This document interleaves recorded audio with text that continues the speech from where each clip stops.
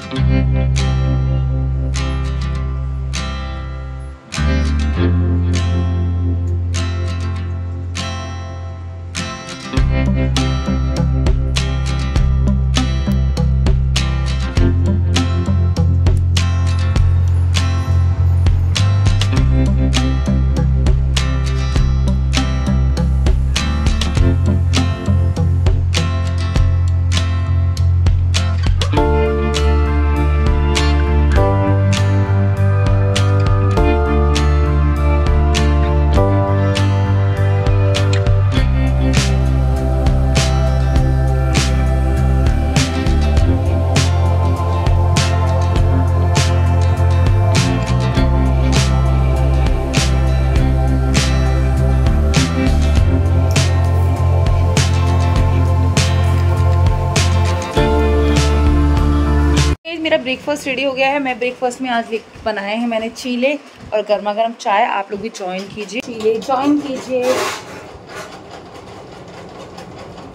बहुत डिलीशियस है गाइज़ और आफ्टर ब्रेकफास्ट कुछ प्लान बन रहा है। जो भी प्लान बन रहा है मैं आपके साथ शेयर करूँगी। गाइज़ मुझे यहाँ पे लंच रेडी करना था तो मैंने जल्दी से यहाँ पे लंच रेडी किया जिसमें मैंने बनाई भिंडी की सब्ज़ी और यहाँ पे बनाए मैंने गर्मा गर्म पराठे। जी हाँ लंच मेरा रेडी हो चुका है गाइज़ क्योंकि मुझे बाहर भी जाना है। सो so, ये लंच में भिंडी कर्ड और पराठा आपको कैसा लग रहा है? देखिए मुझे तो बहुत ही यमी और टेस्टी लग रहा है। आप लोग भी ज्वाइन कीजिए गाइज़ कशिश के साथ ये भिंडी की सब्ज़ी और खा के बताइए कैसी बनी है। वैसे तो अच्छी बनी होगी। यू कैन सी गाइज़ घड़ी में सवा बज चुका है। सारे कपड़े धुलाई कर दिए हैं गाइज़ देख सकते हो। और गाइज़ मैं रेडी हो चुकी हूँ। यू कैन सी मैं और गोलू रेडी हो गए। आज हम लोग जा रहे हैं इस्कॉन टेंपल। जी हाँ गाइस गोलू ने मेरा सूट पे किया है उसे बहुत पसंद आया था। तो उसने कहा कि मासी मैं पहनूँगी वहाँ पे हम करेंगे कुछ फ़ोटो शूट और फ़र्स्ट टाइम जैसे कि मैंने आपको दिखाया था कि मैं इयर लेके आई थी मार्केट से तो मैंने आज इस ड्रेस पे ये वेयर किया है। बाकी फुल लुक आप हमारा देखना है इस्कॉन टेंपल में। भगवान जी के दर्शन करने के लिए जा रहे हैं श्री कृष्ण भगवान के और आपको भी कराएँगे दर्शन। अगर पॉसिबल हुआ और अंदर अलाउ हुआ हमें फ़ोन ले जाना। तो चलिए गाइज़ निकलते हैं घर से। मिलते हैं आपको।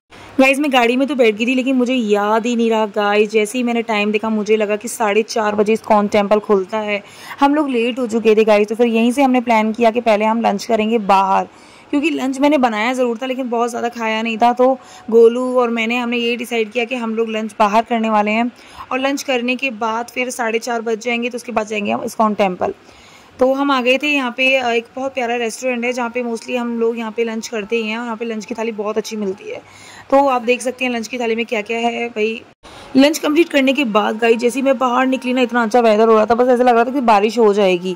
लेकिन मुझे ये नहीं पता था कि सच में बारिश हो जाएगी।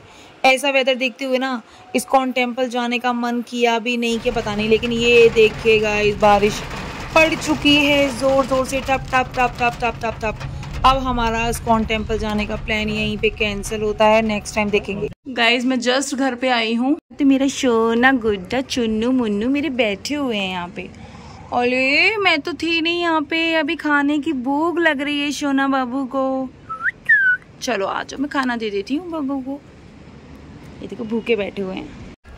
तो गाइज़ इवनिंग के साढ़े छः बजे मैं निकल चुकी थी। सडनली कॉल आया फ्रेंड्स लोगों का कि कल है फ्रेंडशिप डे तो आज क्यों ना हम सेलिब्रेट कर लेते हैं? तो जी, मैं निकल गई दिल्ली के लिए कनाट प्लेस और वहाँ करनी थी हमें एक पार्टी गेट टुगेदर सो मज़ा तो आता ही है दोस्तों के साथ तो मैं निकल गई बिना सोचे समझे। बारिश तो बंद ही हो चुकी थी। आप देख सकते हैं रोड पे इतना कोई ज़्यादा बारिश नहीं है। तो यहाँ पे गाड़ी में सब फ्रेंड्स के साथ मस्ती करते हुए हम लोग निकल गए और यहाँ पे मैं फ्रेंड्स के साथ कर रही हूँ मस्ती। ये देख सकते हैं आप।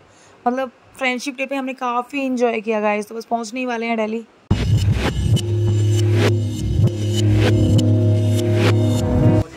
गाइस सारे फ्रेंड्स लोगों से मिल लीजिएगा और मैं उनसे बोल रही थी इंट्रोड्यूस करा रही है। गाइस सब लोग हेलो बोल दो।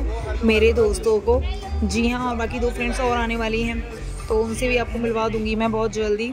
पार्टी ख़त्म करने के बाद मैं और मेरी फ्रेंड्स निकल चुके थे।